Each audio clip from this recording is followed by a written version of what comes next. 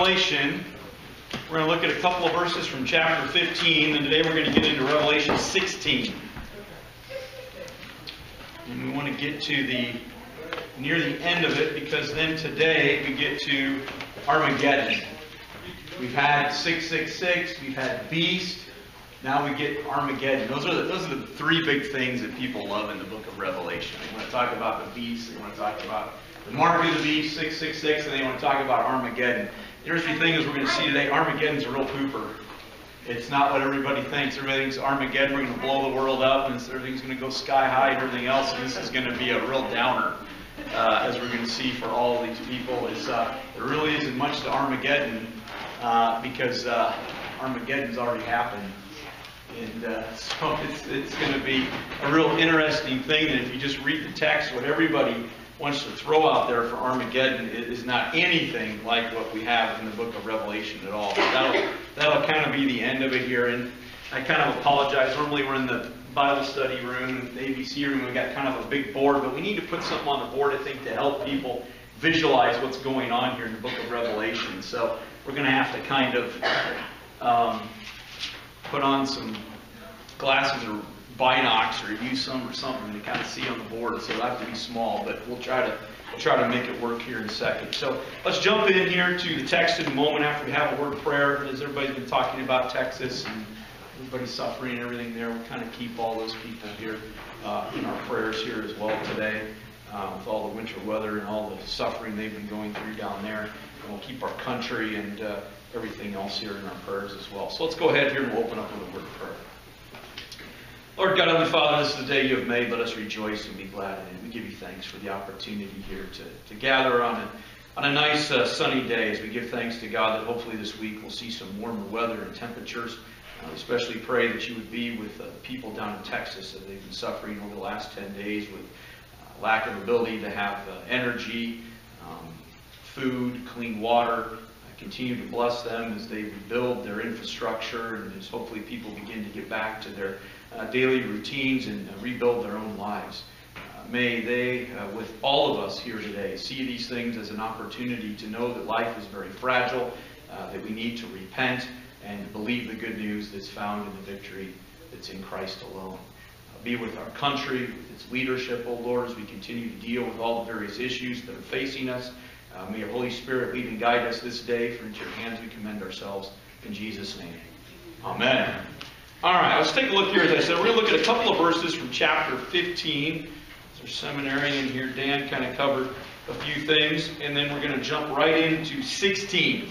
But let's look here at uh, chapter 15, verse 1, and then we're going to read the last 5 through 8 of uh, chapter 15. But in chapter 15 last week, John said, Then I saw another sign in heaven, great amazing, seven angels, seven plagues which are the last.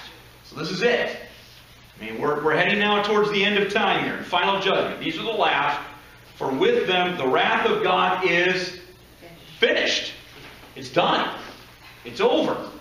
And here, here's what I want to do, putting this, this, this, on the board to get a picture. Ed Dr. Piazza kind of was here last week asking some questions. You know, we keep flashing back and forth here and everything else. I'm trying to get a picture of what's happening. But let's let's kind of look here. Here's the cross, and I know, like I said, this is going to be a little bit difficult.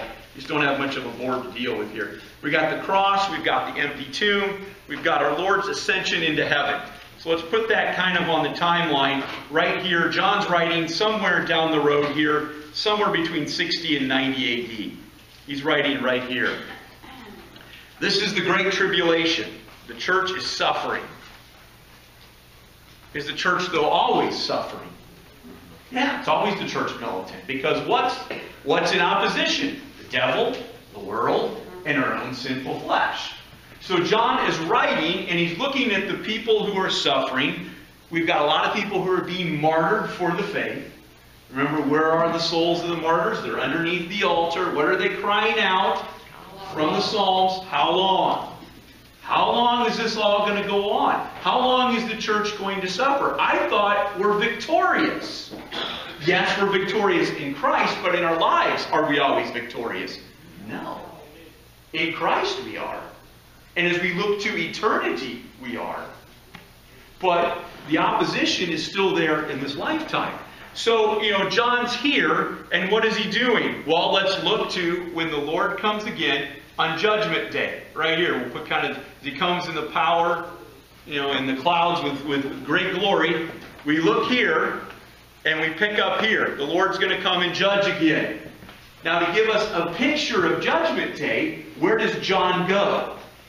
He always goes back to here, the Old Testament. So we come here and we circle back over to here. And what do we circle back to? All the images in time, in history, of the Lord judging the world. And what do we get? We get the flood.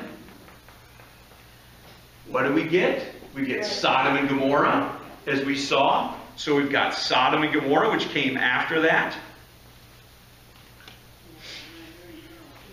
What else? What else are we getting? The captivity, you know, down into Egypt, And then also later in the, all the. Oh, going to Babylon and everything else. So then we've got, you know, flowing. So we've got the flood, we've got Sodom and Gomorrah, we've got what comes next, the captivity in Egypt, which is right there. And then to get the people out with the Exodus, what does the Lord send? the plagues. And what do we, what do we got here? These are the seven angels with the seven plagues. So we're kind of we're kind of going back. Here's the pictures of what judgment has always looked like, and then and what it's going to be in the end. So we've got so we've got the plagues, then we've got the captivity, all right, and everything else heading out into Babylon, coming back. We've got then Daniel, we've got Ezekiel, we've got all these pictures because Daniel gives us the pictures of everything that's going to happen of God's judgment in time and history, leading all the way up, because we've got all the great empires. Babylon, the Medes and the Persians, the Greeks. Then, then finally the Romans coming. And all the opposition to the church. So he comes back here and he picks it all up and he comes back into here and saying, you know, in time, God is going to judge. In time. But it's not always a full judgment because remember, it was a third, it was a fourth, and everything else, and there's still going to be opposition. But then again, where we're at here, where do we look? To the end of time. There is, look at, the saints are there. They've made it. They've washed their robes. They made them white in the blood of the Lamb. But the question is, you're going to let the bad guys get away with it? Well, no, I haven't. Let's go back and review the Old Testament. Look at what I've always done through here. Look at what I'm going to be doing right now in time. That brings us, now we're getting closer here. Okay, we're still struggling though. Oh, look. The Lord's going to come again. In the meantime, people in time will be judged. But some people are going to, quote, get away with it from our perspective. But there's a judgment in time. What does that judgment look like? Well, what has God always done? And back we go again. Here's the picture. Back to the Old Testament. Then it brings us here. Now we're here. We're getting closer. Oh, same question. How long are you going to let this go, Lord? Well, again, I'm coming again. The saints have made it. All right. There's, there's going to be vindication.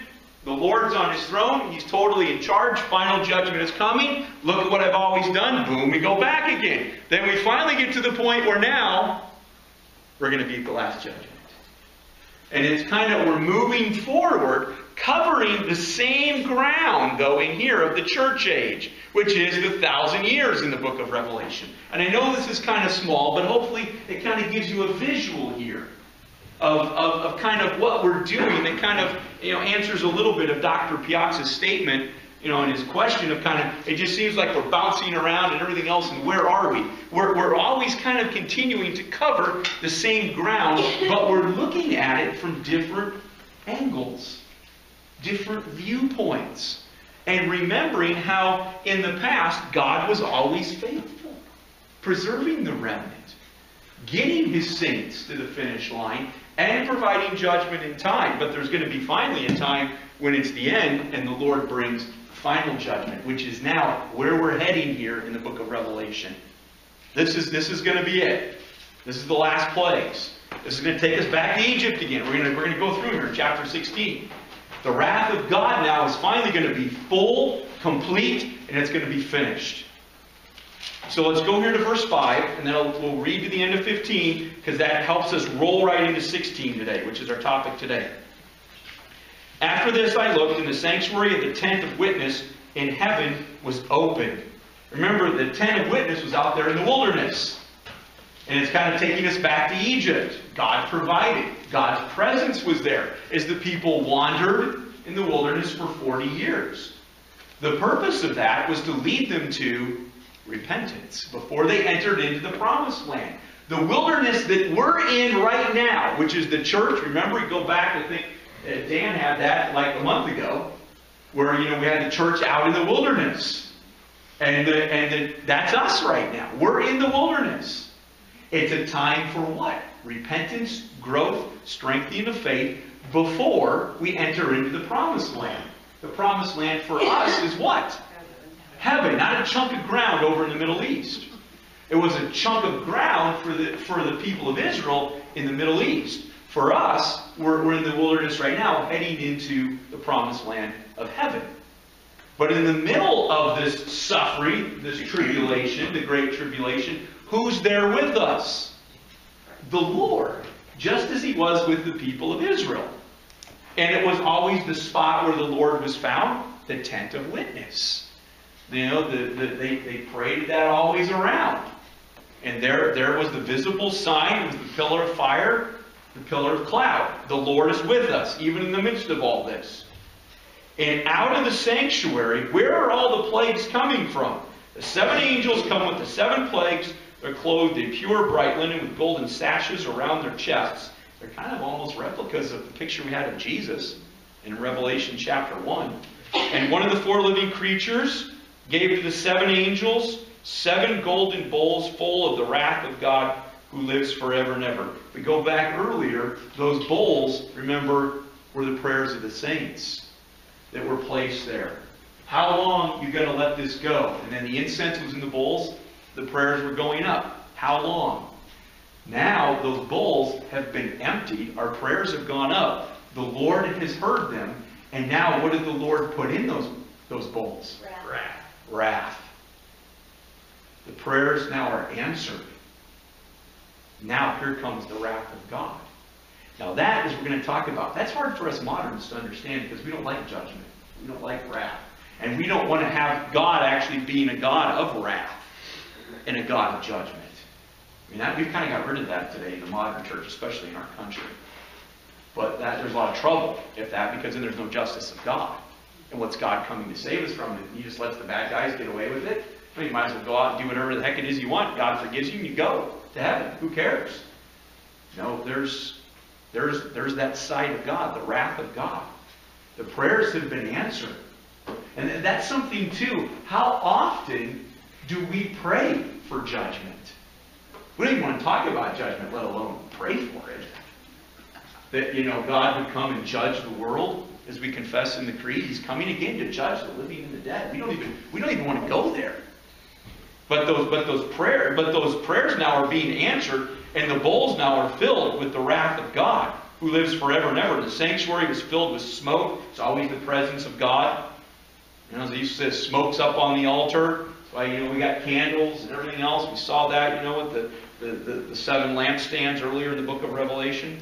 And the sanctuary was filled with the smoke from the glory of God. That's the presence of God and from his power. And no one could enter the sanctuary until the seven plagues of the seven angels were finished. this is now the end. And so this is the final judgment. When this is all over, then when He's coming back to judge the living and the dead. And now we enter into the promised land. So that takes us now to 16. So we've got judgment coming from heaven, coming from the presence of God. And he's going to pour out now the wrath of God from these seven bowls. Again, what is seven? Complete. Complete, total. This is now complete, total, perfect judgment. This is the end. Remember before, the angels were holding back the final judgment at the four winds, remember? Because, and why? What was the reason for that? Giving what?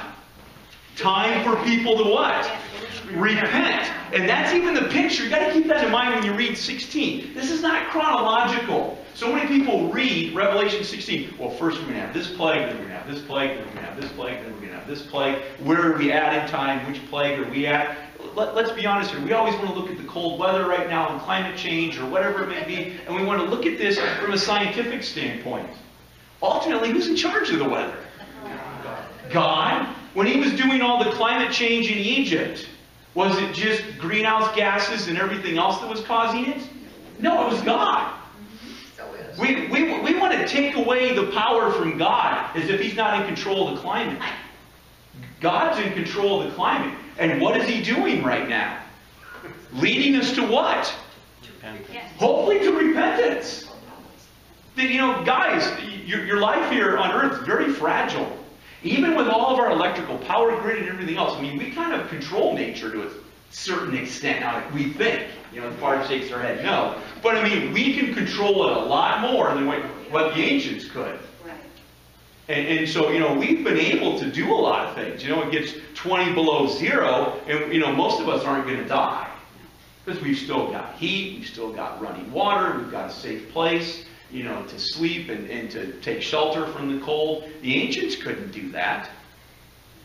But we can. But all of a sudden now, what's God trying to tell us?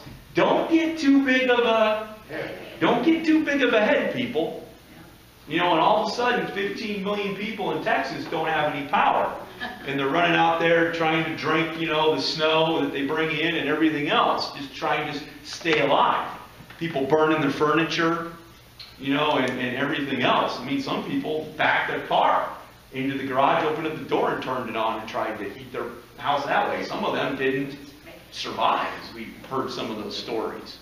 That's how desperate it was getting for some people.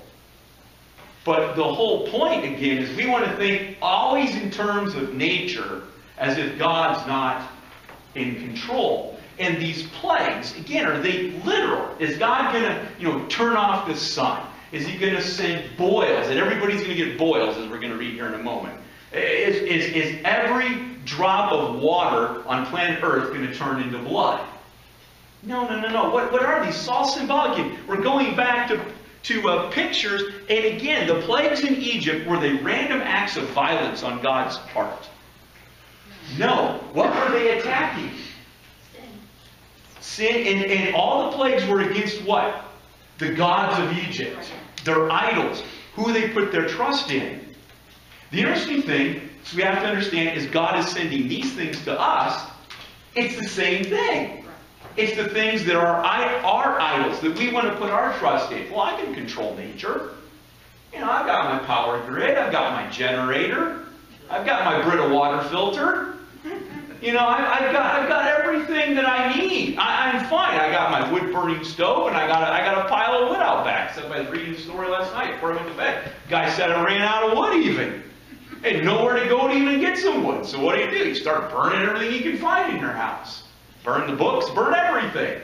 You know, I had a week to 10 days supply of wood, and I burned through that in a few days. So now I got to burn everything to stay alive.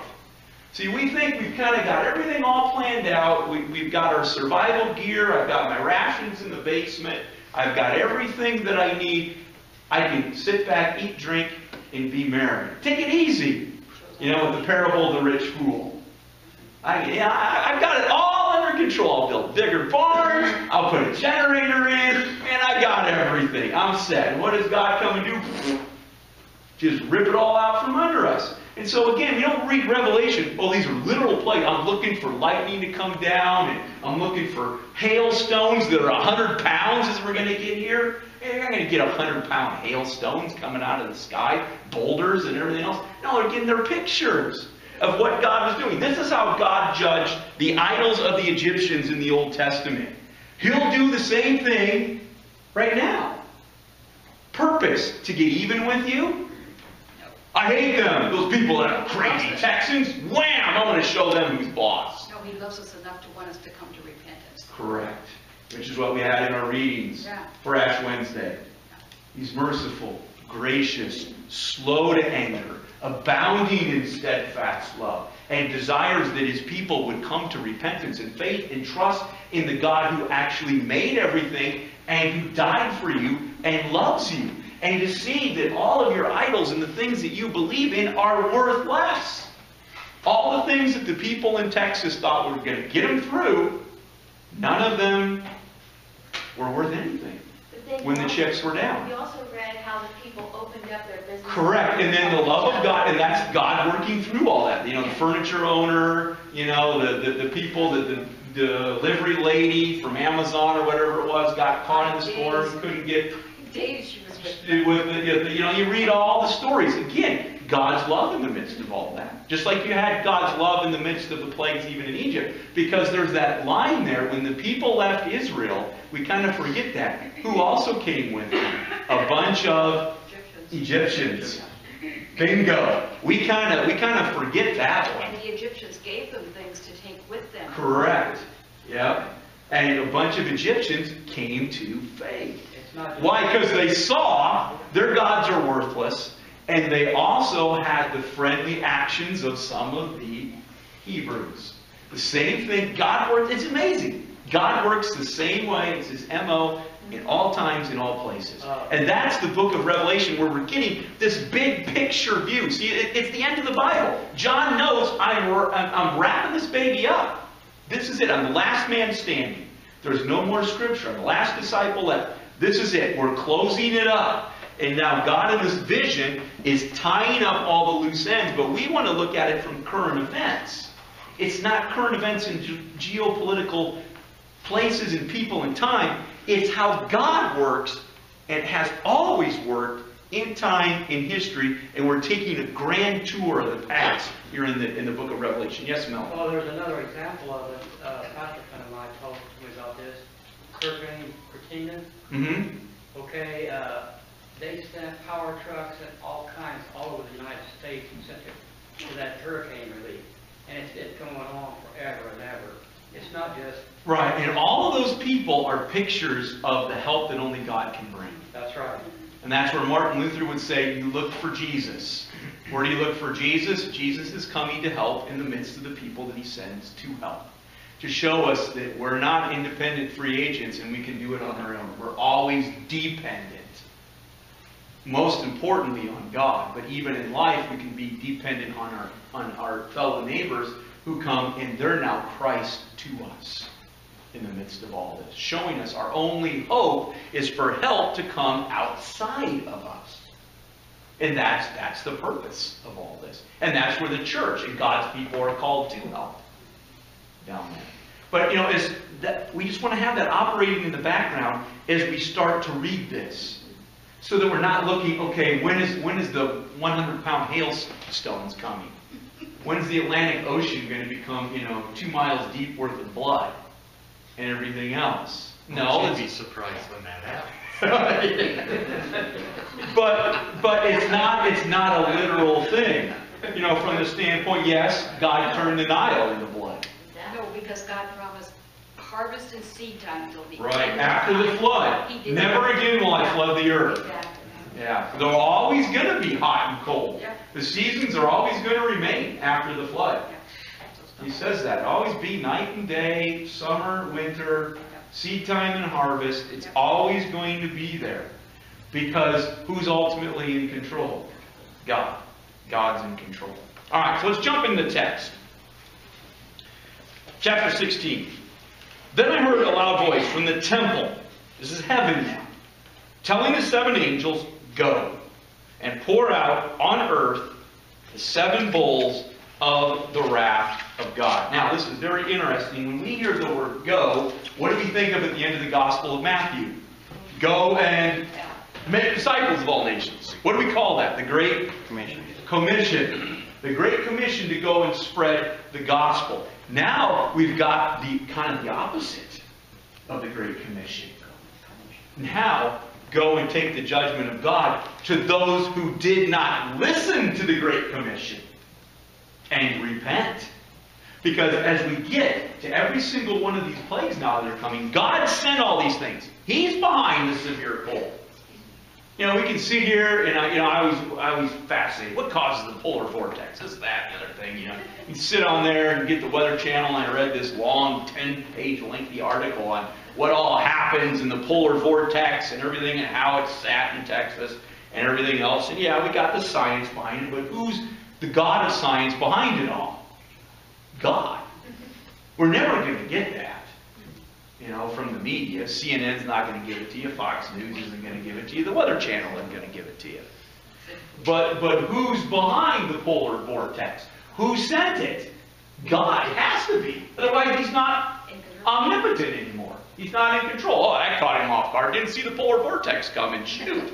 Missed that one. Wish it wasn't been playing golf 10 days ago. Could have stopped that before it kind of got messy down there for those poor people. Rat. Next time I'll be I'll be on uh, I'll be on you know on on the job and make sure that doesn't happen. No, God God's in control of that. We got the Great Commission, go and make disciples all nations, baptizing, teaching them everything I have commanded you. Now go and take the judgment of God to all those who didn't listen to the Great Commission and didn't repent. Because as we get through every single one of these plagues, they had the opportunity and they didn't repent. They hardened their heart. Who does that sound like? Pharaoh. Yeah, go back here. It's Pharaoh. Hardened his heart, would not repent. A question, Pastor. Yep. Um, when you talk about Pharaoh hardening his heart, God said, I will harden Pharaoh. Then finally gets to the point where God finally, yeah, there's a point in time when then God says, I'm going to harden it. Yeah, and then that's, uh, It was that so that he could continue to show the, their God's word. he's going to take them all out, yeah. I mean, there we get into what Luther calls the hidden mind of God. So we want to be really careful because it's hidden, he hasn't revealed that to us. You know, as, the Old Testament says, the revealed things of God are for us to know and understand. The hidden things of God are not for us to understand. Now we're starting to get into those, those hidden things which God hasn't revealed to us. So why does it there at a certain point in time? Pharaoh hardened his heart, then you get through, I can't remember which plague it is, then it says, it switches, God hardened his heart. Seven. Yeah, seven. So, you know, there it is. Um, is it ultimately then to kind of, it could be, I mean, it makes sense, but again, that's God's plan and not ours. To finally, you know, I'm going to take out the God on earth for you, God in the flesh, Pharaoh. And I'll take out the firstborn. The next Pharaoh, the next God in the flesh for you, God. Everything that you want to rely on in fear, love, and trust, I'm going to take away from you. Sounds like that's the deal. Again, God hasn't revealed that to us. But I think that's the whole point. I'm going to run this because the goal is to show you that uh, God gave him a chance. But that's also to remind us God is God is a long-suffering God. He's giving us all chance after chance after chance after chance after chance. But then finally what happens? There's an end to those chances. God's going to take you. You'll die. Or judgment day is going to come. God is very, I mean, He keeps going over and over and over and over again. But don't take His grace for granted. And don't misuse it. And so there, there's finally that, that time when God shuts it all down. And so we've got the opposite of go and tell the good news. Now go and bring the judgment on those who didn't believe the good news. See, now we're getting the answer to the prayer of how long. There's, there's that justice of God. It's coming. Let's move now to verse 2. Verse 2 So the first angel went and poured out his bowl on the earth, and harmful and painful sores came upon the people who bore the mark of the beast and worshipped its image. Now remember, before, if you're going to be able to, to uh, do business and everything else, live, function in society, you got to have the mark of the beast. You got to worship the God on the earth, which was the government. And Hail Caesar and all of their gods. They, the people wanted that mark so that what? They could survive here on earth. God says the interesting thing, you want that mark? Now I'm going to send you a whole bunch of marks. I'm going to send you a whole bunch of boils, painful skin sores. What does that remind us? The plague of the boils back there in the Old Testament. You, you, you wanted power, you wanted good things in this life. It only lasted for a little bit of time. Now you're going to be marked for eternity. It's going to be very painful. That reminds us of the story of the rich man and, and Lazarus. Lazarus had all those sores. The dogs were licking him and everything else. The rich man had everything in this life, man. He had the mark of the beast. He was living high off the hog. But for eternity, what happens? It switches. Now he's got all the sores. He's in agony. He's burning for eternity. And Lazarus has all the blessings of God.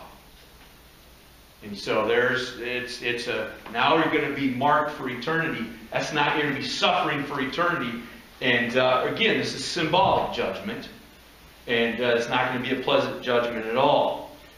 But uh, they've got all the marks, all those who bore the mark of the beast and worship its image. Now let's, let's look here at uh, verse 3. As we remember from the end of verse 2, these people now preferred to be marked by Satan in this life, but now they're going to be marked with a negative life and, and a negative mark by God for eternity. Verse 3 Now the second angel pours out his bowl into the sea, and it became like the blood of a, of a corpse. And every living thing died that was in the sea. Now we're seeing universal judgment. Remember before it was a fourth, a third. We're, we're increasing numbers now. Now again, now it's every living thing. Now this is this is the end. This is the end. We're moving to final judgment. Verse 4. The third angel poured out his bowl into the rivers. So we had salt water, all right, in, in, in verse 3. Doc Randy can't go out there off the coast of San Diego now and do his deep sea fishing that he loves to do, and he's got that next trip planned. You know, everything out there in salt water is dead. Now we're not just doing salt water, what's God going to do? Fresh water, what we drink, what we need to survive. This is going to remind us of John's gospel. I am the living water. The water in this life is dead water. Because what? It can't keep you alive forever. If you drink of me, you'll never thirst. Lady at the well goes, Well, give me that, sir. I'll never have to come back here to draw any water. I, I want this water as a well that springs up for eternal life.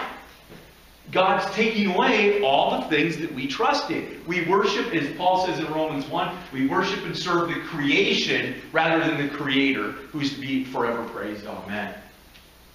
We worship the creation. That's, that's where we're at in our society. We worship the created things and the creation rather than the Creator. And the interesting thing is, all of our gods, especially the gods of the Egyptians, were all what? Created things. The water, the sun, the uh, cattle, the Pharaoh. I'm going to I'm gonna, I'm gonna take them all out. I'm going to take them all out. So now he pours out his bowl, verse 4, into the rivers, the springs of water, and they become blood. So now I'm going to hit the fresh water. Then I get here to verse 5. What does it say? 5 and 6. This is the wow statement for us moderns. This should make you feel very uncomfortable. It should, because we just, we just don't hear things like this. Verse 5, verse 6. And I heard the angel in charge of the water say, Just are you, O Holy One, who is, who was, for you brought these judgments. Who brings all these things? As I said earlier, that's just not Eric Allmeyer's opinion. It better not be. Because if it is, you better tell me, get off and go somewhere else. Get off the, the, the stage, get out of the pulpit, go somewhere else. It's not my opinion. This is the words of Scripture. Who brings these judgments upon the earth? Who brings the cold weather? Who brings the drought? God. He's in control of the weather. It's why somebody somebody came into my office the other day and we were talking about the weather and everything else, and this person said, "Gee whiz, I wish I was a weatherman." What are they right? About 20% of the time.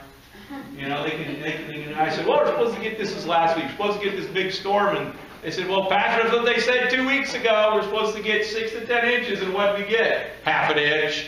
And I wouldn't count on this. We'll be at church on Ash Wednesday. I'm not thinking, well, we, what did we get there? Monday, Tuesday, eight inches. So, I mean, they did, we were kind of close, but, you know, their, their, their whole point is, when are these people, Pat Young, she was one of them last week, so the weather people don't know anything. But, you know, that wasn't you, though, who came into my office, but she was one of those weather people. That, but that's all of us. We had that conversation. When I said, well, you never know, because, I mean, they say this and that, and you're never right. But who, who's ultimately in charge of the weather? God. Who brings these judgments? You're, you're, you're, you're just. You're holy. You're the one who is and was. For you brought these judgments. Then we get to verse 6. For they have shed the blood of saints and prophets, and now you have given them blood to drink.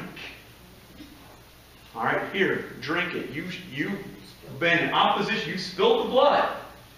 You spilled the blood of the innocents, the martyrs, who are now under the altar. Now, here it is. You'll have to drink this to survive.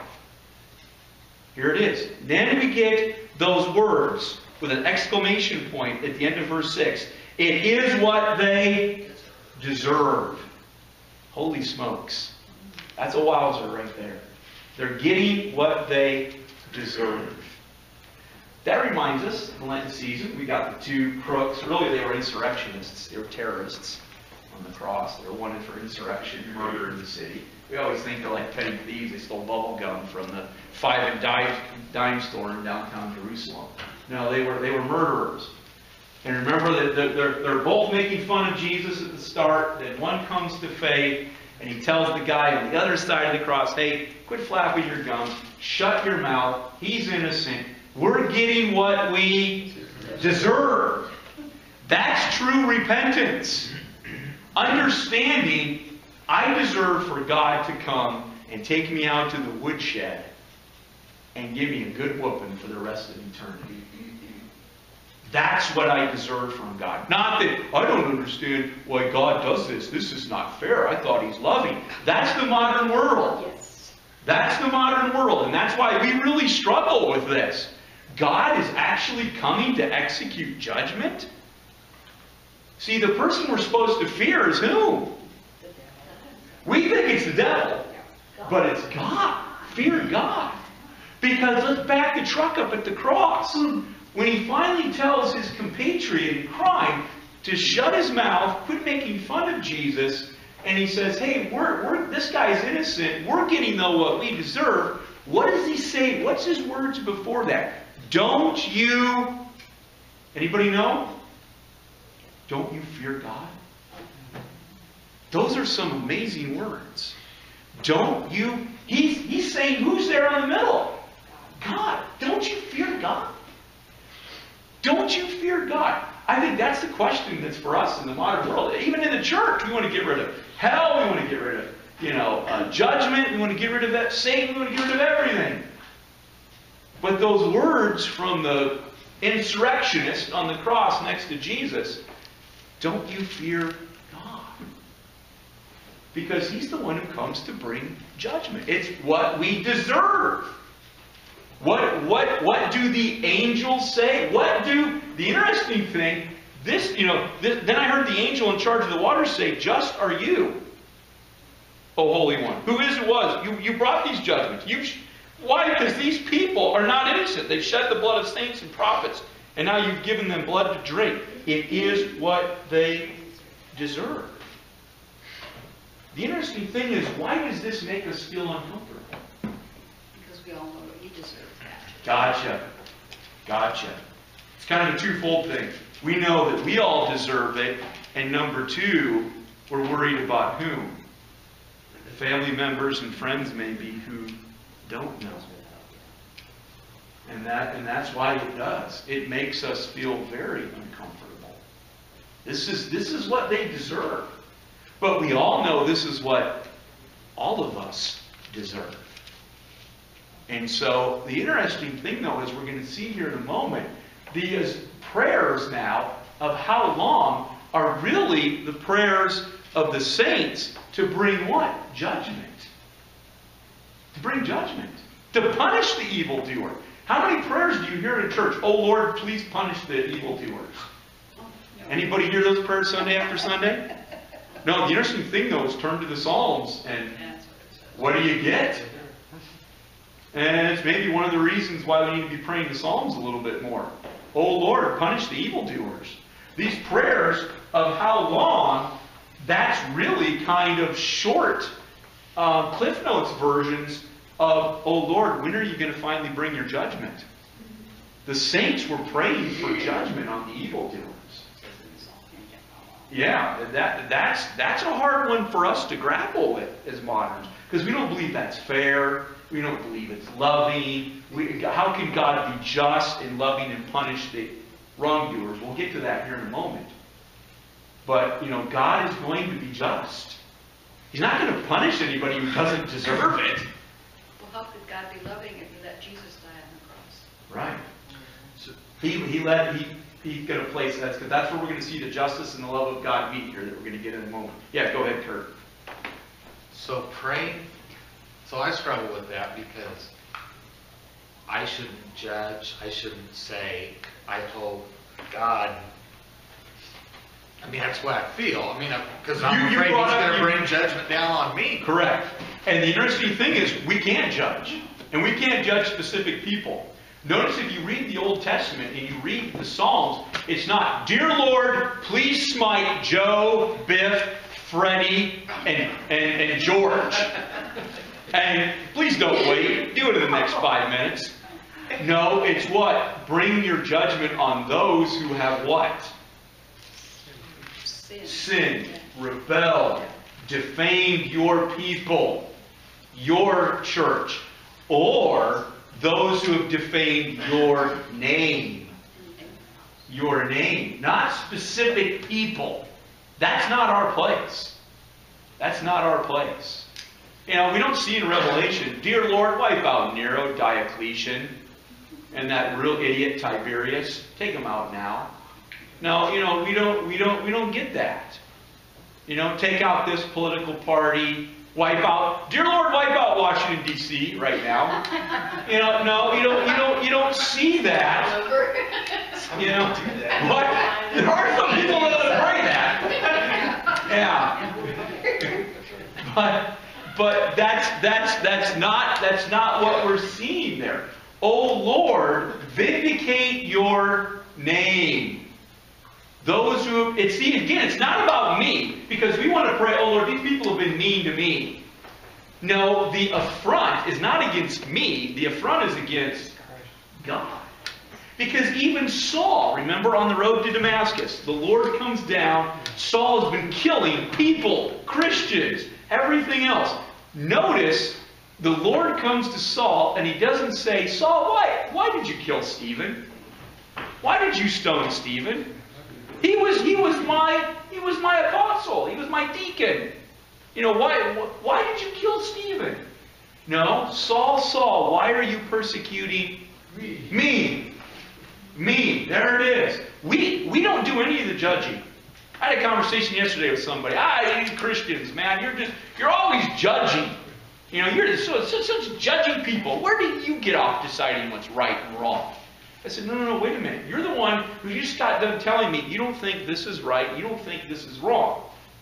You, you were giving me all of your own personal judgments. I believe personally abortion is okay. Woman has a right to. You, you, you just got done judging. Now that you told me, you got done telling me, well, you, you, you can't judge. You Christians want to judge. You want to tell me what I can and can't do with my body, or if I want to smoke weed, or whatever it is. That's my own personal choice. You, you can't judge me. Well, you just got done making all these personal judgments. Now, I'll make a statement, but I'm going to tell you what, I'm not going to give you any judgment from Eric Allmeyer whatsoever. It's not personal at all. It's not what I believe. It's not what I think. It's not my thoughts on this matter. I'm going to tell you what God Almighty has to say. And then He's going to do the judging, not me. I don't judge diddly squat. I leave it to the Lord. Now that kind of scares him a little bit. Well, then I get this answer though. But that's what you believe the judgment is from the Bible. Everybody who's a Christian's got their own personal opinion about the judgments of God. Doesn't matter. God's got his opinion, Correct. And my, the whole idea is, well, you better search the scriptures and make sure that your interpretation of the judgment of God matches what the actual judgment of God is. That's the point. You You know I- better make sure you're on the side of God. And it, you know what? The uh, plain things are the main things in Scripture, and the main things are the plain things. And a lot of these things are pretty plain. And they're the main things. And it's pretty clear. And so let's let the Word of God speak. And He's the one who will do the judging. And that's the difference. It's not my thoughts, it's not my opinions, it's thus says the Lord. And we go from there. Yes, I always help, I mean, I don't know if it helps people, but I always remind them that God says He's the Alpha and the Omega, the beginning and the end. First and the last. And without Him, we wouldn't even be here. And that's when He decides when we're going to go. It's His choice. He's it. That's when Moses goes and we have the start of the plagues. He's supposed to go, you know, and sees God there in the burning bush. You know, you're going to go and tell Pharaoh, let my people go. And Moses says, well, that's great, but I was a prince in Egypt for 40 years. I know how they roll there, you know, in Pharaoh Hall. Uh, I actually sat in the throne room and everything. I, I, I kind of know the uh, inner workings there at Pharaoh. Uh, they got a lot of gods there. They got a lot of power. Um, when I say that uh, supposed to let my people go, what God am I supposed to say is telling Pharaoh? Because I'm actually speaking to God there on earth. is how they look at it. Uh, who am I supposed to say is supposed to let the people go? Uh, God says to Moses, You just tell them I am. I am says, let the people go. I'm it. I've got all being. It's the verb to be. I've got everything, eternity, everything, all power in me. I'm it. Apart from me, there is no other. The Old Testament scriptures say. I'm it, man. You just say, the one and only says, let my people go. Because I'm God. And there's the, there's the difference. But we'll get to it here in a moment, which maybe we'll have some time. We always want to be God because that's the temptation in the wilderness. To eat from the tree of the knowledge of good and evil. The temptation there is, I will decide what is good. I will decide what is evil, not God. So I will eat, now I become God. I make the call on good and evil. I'm in control, I'm in charge. And that's, that's what these plagues, as we'll get to here in a moment and next week, are all about. Let's, let's look though at the next verse, verse 7. And I heard the altar saying, now, this, do we, is, is this like watching the Chronicles of Narnia? You know, where the trees and the animals and everything talk, you know, reading C.S. Lewis's books, Lion, Witch, and the Wardrobe, and Prince Caspian, and Voyage of Dawn Treader, all that sort of stuff. Is, is now, do we have a talking altar in heaven? No. Who's under the altar? The saints. All those who have died prior to this and their souls are in heaven, especially the martyrs who are under the altar. I heard the altar say, now we have the angels say, your judgments are true and just. They deserve, they're getting what they deserve. Then who chimes in and says the same thing? The angels are saying, the saints of God. Then I heard the altar saying, Yes, Lord God, the Almighty, true and just are your judgments. Now, we could spend a lot of time with this. This is always the hard one. I'm just, I'm not, we, we feel a lot of questions. It answers always the question, my, my son, my daughter, my cousin, my best friend, my wife, whoever doesn't believe, how am I going to be able to survive for the rest of eternity in heaven? And they're not there. The answer everybody gives is, well, we just won't know they're not there. Show me in the Bible where, where you find that chapter and verse. It's not. The interesting thing is our mind becomes what? Just like God's. And what did the saints, whose mind now is just like God, what did the saints say under the altar? True and just are your judgments. They rejected, they did not repent. I'm fine with that for the rest of eternity. That's a double wowzer. We had a wow here earlier. Now we just laid down a double wowzer. Because that's a hard one for me with some of my family and friends that are not believers right now, that I struggle with, that I, I'm not going to have a problem with them suffering in hell. Why? Because my mind is just like the God's mind, God's mind who actually put them in hell. How true and just are your judgments. That's a hard one. That's a, that's a hard one for us this side of heaven to grapple with. You know, and, I, and I've had a lot of, we could spend a tremendous amount of time digging in that one. But um, we, our mind will be just like God, and God's judgments are always righteous and just. So do the saints believe there should be a judgment on those who don't believe, for those who reject? Yes? I was, talking, I don't know. You only know Jesus, you'll become one and only know Jesus. Well, we'll, we'll know the other people. I mean, because just like on the Mount of Transfiguration, it says we will be known and we will fully know. We see. Here's the interesting thing: you won't need a name tag when you get into the pearly gates and Peter's there. Joke, but Peter's there doing your registration. You won't. You don't won't get here. Put this, uh, Eric. Put this on your name tag, Uh, or you know, on your on your on your robe there. Hello, my name is Eric Allmeyer.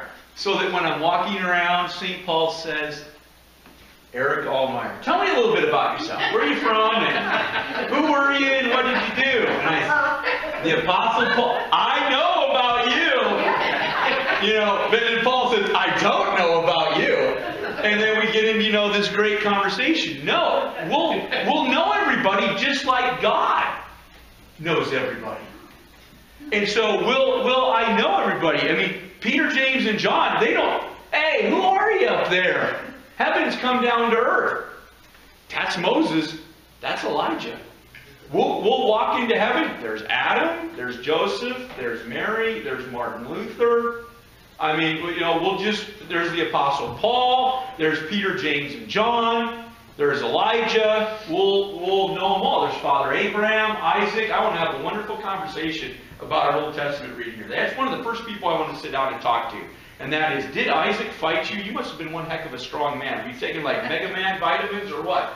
You know, how you got him bound up and put him on the altar there. Or was it just like Jesus that he willingly carried it? And they both knew, as Abraham confesses, we're going to go and worship, then we're going to come back to you. And as it says in the book of uh, Hebrews, Abraham knew that he would raise his son from the dead. And so then, so Isaac willingly walked up there. Abraham didn't have to fight him. He put him up there on the altar. That's a conversation I want to love that. But I'm not going to go up and I'm going to be searching. Hello, where's Abraham here? Anybody here by the name of Abraham? You know, and then, oh, that's me. I got my name tag here. Who are you? And then we sit here and we have, no, no, I'm, you're going to know everybody because you're going to be like God. That, that, that just, that's just kind of mind blowing. Because we'll be at one mind. Right. His. His will and His mind. And maybe that's where you're going with that, Tom. Our mind will be like His and our will will be like it. It's not that we're only going to know Jesus, we're going to know everybody. Just like Jesus knows everybody. And knows us all by name. It was described to me as if you went to something very, very special, Eh, Which it will be. and, and, and you were there. You knew everybody was there, but you weren't thinking about it. That, that's correct. Now, that I will go with. Everybody says, I want to go to heaven because I want to see Grandpa George again. And I understand what you're saying. But I want to go to heaven not because I want to see my grandpa, Fred Allmeyer, which I really want to do. I want to go to heaven because I want to see Jesus. And that's, and that, because what makes Jesus Jesus, or what makes heaven heaven, is that Jesus is there. Not that Fred and Flora Allmeyer are there. And yeah, I'd like to see my grandma and grandpa again. But what makes heaven heaven is seeing Jesus. And that, and maybe that's where, and, and for right from that perspective, Tom, you're you're exactly right on target. Our eyes are going to be focused, especially when it's time for worship, which is all the time. Always, because remember, everybody's around in a circle, and every eye is looking where? To the Lamb who's on the throne to the Lamb who's on the throne. And from that standpoint, Tom, you're, you're, you're spot on. You're spot on. Yeah. But like go ahead. children of miscarriages, Will they? Will, they'll be there. absolutely. And Because Heather and I have had several, so I always, I always want to say I'm not, I'm not really the uh, mom and dad of, uh, of five kids. I'm, I'm, I'm, you know, I'm parents of eight, and so we'll see those three. yeah, Yeah, no, and you'll know them. Yeah. hmm pretty cool. No, it is very cool. It's very cool. That that that adds a whole new perspective to things. That is that is a whole new perspective to things, and uh, especially you know from this. But then we get into how old they're going to be, and uh, they're they're you know they're we're into the hidden things you know of God. But will, will I see them? Will I know them? Absolutely. And you know that's that's kind of that's kind of an interesting thing. Yeah, I got five kids here right now, but really I got eight kids. And so now you finally get that chance. That's why, you know, we kind of did a little service for them. And, uh, you know, you kind of need that because this isn't the end of the line. No, they weren't baptized, but they did hear the word. And God created faith in them. Just as David said, even when I was in my mother's womb, you made me trust in you. Yeah, in the Psalms. And that's, and that's something to remember.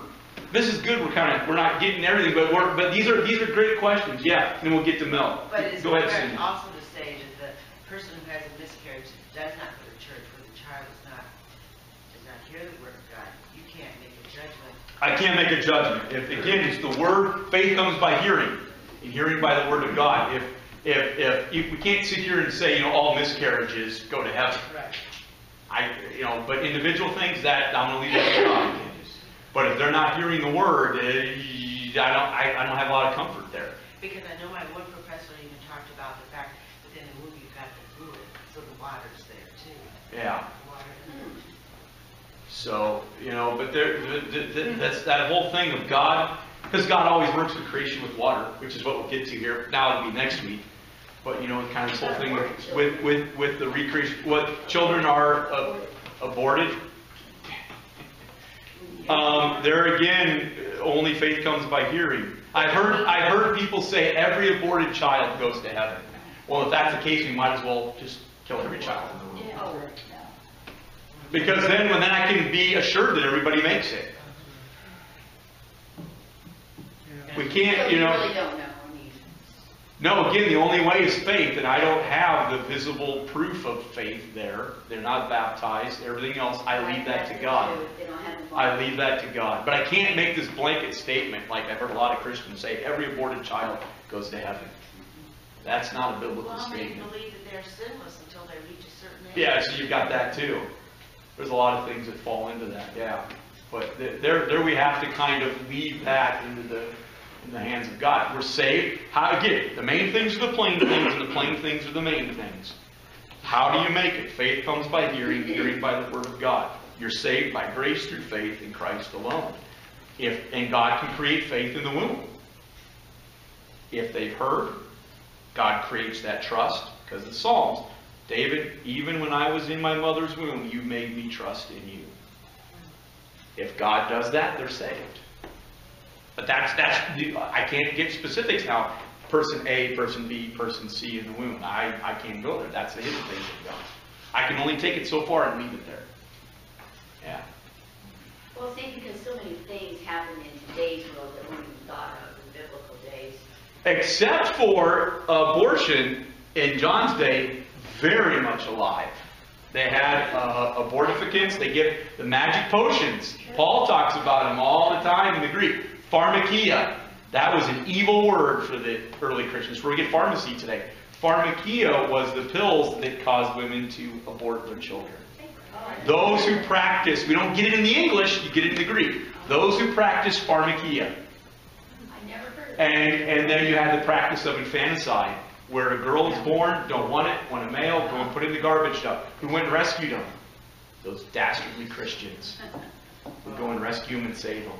And that's one of the reasons, too, why the Romans hated the Christians, because they went and saved the kids in the, in the, in the garbage dump. So some of these evil things have always been around. Now, some of these gene splicing, cloning, yeah, that wasn't around in, in, in Paul's day or in John's day, but some of the homosexuality, everything else, that was, that was all Oh, around. yeah, I knew that. Yeah, all I that just stuff. didn't know about the, Yeah, no. It, it- again, because you see it in the Greek, but you don't see it in the English.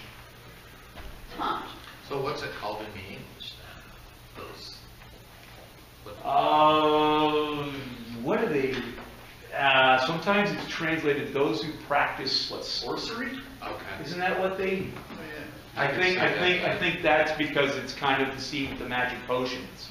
Yeah. Oh, Because it was seen as kind of magic. So those who practice sorcery and some other things, I think is how you get that. I have to go back and look. And all other sorts of things they thought. Yeah, yeah, So that would have, to me, thought witchcraft, you know, Yeah, or yeah. other gods. I would never have thought.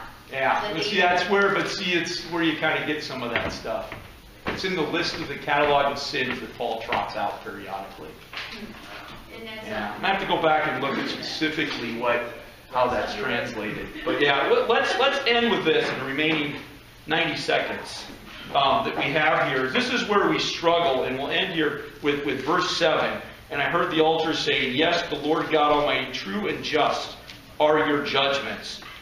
Th- That, that's where we struggle. This is the God who sends people eternally into hell, where there's weeping and gnashing of teeth. But think of all the parables that Jesus told. You know, then they'll be sent into hell, where there will be weeping and gnashing of teeth, grinding their molars in outer darkness. All these visuals. Jesus tells us this. And so what? Jesus was a liar there? But the interesting thing is people want to say, well, it's not fair, that's not just. But where, where does love and justice meet? And it meets at the center of the cross. We've got John 3.16. God loved the world that he gave his one and only Son. Whoever believes in him shall not perish, but have eternal life. God loves the world so much, what does he do? He sends down his Son. What does he send his Son down to do? To die, to meet the justice of God, to pay for the sins of the world. Sins have to be paid for. God's not a Big Ten ref that just, hey, we'll just let them play today. They'll beat each other up. As long as they don't have a broken arm and they're laying on the floor, all right, in the Purdue Michigan State game, just let them keep playing, man. Just let them play. They still got two eyes and two arms. Let them keep going. All right, let's just bang each other up. No, God says, wait, wait, that, that's, that's a foul. He actually blows the, the, the whistle. Go to some of these. I went to the Argos game, uh, was it last week? My goodness gracious, I think the officials ate their uh, whistles. They never blew them there for a while. Everybody was just guys being thrown down on the ground. Dylan Kindig just got like a guy did a taekwondo move over over the back and threw him down and then landed on him like it was WWF wrestling. Pat, you'd love this.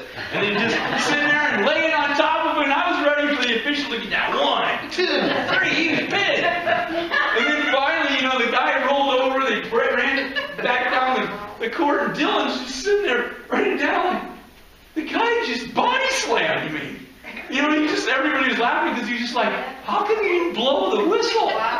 You know, I mean, it's just it's just kind of. But you know, God actually gets the whistle out, and what does He do? He blows the thing and says, "That's a that's a foul. That's a that's a foul. You actually sin, and it's got to be punished." But instead of punishing the guy from Lakeland, who actually was a real little guy, Cameron Shepard, which I can't believe, how he got him on Dylan, like a foot taller than him, got him on his back and rolled him over and pinned him down. I'll never know. But you know, he actually blows the uh, whistle and says, "Cameron, that's a that's a that's a foul. That's a that's a foul. You you you fouled. You all sin. You all deserve, as we just heard. Yes, Lord God Almighty, true and just are your judgments. We all deserve that. So how is any of us going to be saved? Through the blood of Christ. God places, as I said in the sermon today, when he's baptized, all he becomes the Lamb of God who takes away the sin of the world.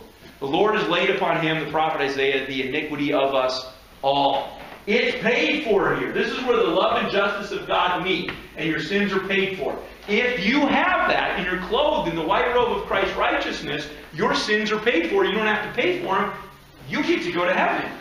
But if you don't have that, as we'll see the rest of the plagues next week, all these things happen. Look at the end of verse 9, and we'll close with that. They did not repent and give him glory. Look at the end of verse 11. They did not repent of their deeds. They didn't repent, so then now they stand there clothed in their own sin, and they'll face the judgment of God. And true and just are his judgments. The wages of sin is death. It's what, as we close, the crook on the cross says, we're getting what we deserve. But see, here's the thing because of God's mercy, you don't have to get what you deserve. But if you don't want that, and you want to go it on your own, you'll get what you deserve. And God will be fair with you. Everybody says, well, that's not fair. Well, if you want fairness from God, He'll play the fairness game. The question is, you don't want fair. What do you want? You want mercy. You want grace. You don't get what you deserve, and you do get what you don't deserve. There's, there's what you want. So you, you, you are not asking for fairness. You're looking for mercy and you're looking for grace. And in Jesus, you have it. And the purpose is, is to get people to turn away from themselves and their sins while there's still time, as we'll talk about next week. Because there's time in between these. There's time right now as God still judges in time and history. But there's coming a time, as we had that chart on the board here, the kind of the timeline, when there will be no more time, and that's it. So repent while you still have time. And we'll close up 16 next week and then jump into 17. So let's go ahead and we'll close with a word of prayer. Lord God, Heavenly Father, we give you thanks for the blessings that in this life you work through the law and the gospel to bring us to repentance and to give us the ability to have faith and trust in you and to be covered in your righteousness as our sins are cleansed and forgiven. We pray, O Lord, that we would continue to repent and believe the gospel and that people here on earth would hear that good news, that they too would repent, turn from sin and self, and to fear, love, and trust in you above all things. Bless us, O Lord, and be with us. For into your hands we commend ourselves in Jesus' name. Amen. All right, just a teaser here, as I did at the end of first service. We didn't get there, but at the end of verse 16, we'll get to Armageddon next week. And there's the there's a big one. That's going to be an eye opener, just like this was a wowzer moment.